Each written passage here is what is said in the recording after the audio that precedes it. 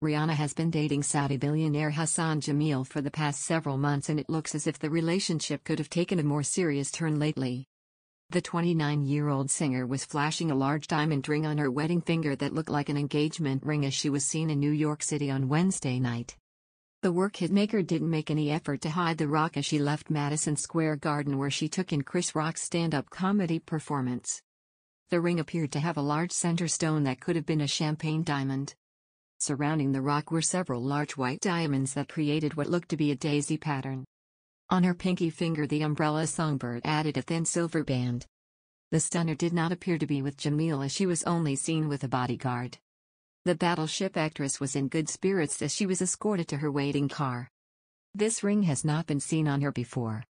It could be a piece of costume jewelry or fine jewelry she bought for herself.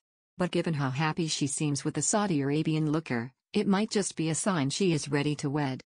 Rihanna and Hassan were last seen together in Boston on Halloween, they were bowling at Lucky Strike Lanes. Rihanna was dressed as Kylo Ren from Star Wars and Hassan was dressed as a penguin. They were all super nice and friendly, a source told Us Weekly. In September, they enjoyed dinner in London. The two went to great lengths to not be seen together. She left by herself, then waited in her car for 30 minutes before he popped out of the restaurant. On Wednesday, the Grammy favorite looked stylish in a long, colorful coat by Dolce & Gabbana FW17 that hid much of her figure. The cover girl also carried a matching purse that had a snake strap. The Barbados beauty also had on a white Celine t-shirt and belted jeans that had wide legs. And the Ocean's 8 actress added pointy metallic shoes for a pop of glam as well as large hoop earrings and blue lipstick. After the rock show, she partied at Marquee nightclub until 5 a.m. with her friends and OITNB star Dascha Polanco. They headed to a local 24-hour diner to get some post-club snacks. The pop star appears to be very into her beau, whose family has dealership rights to Toyota cars. They were first spotted kissing in Spain earlier this year. This summer, The Sun reported the handsome businessman has already been married before. Sources says he tied the knot with art expert Lena Lazar at Paris Opera House in 2012. Both have now happily moved on.